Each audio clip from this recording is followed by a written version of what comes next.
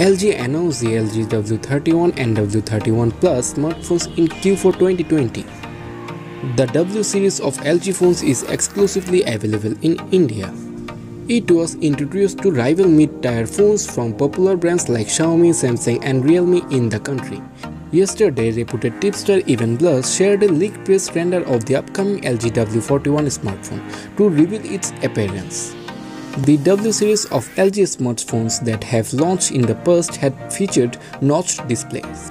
As the render shows, the LG W41 will be the first W series handset from the brand to sport a punch hole design. Except for the slightly thick chin, the W41 has slim bezels on the other three sides. The back panel of the LG 41 seems to be made from plastic.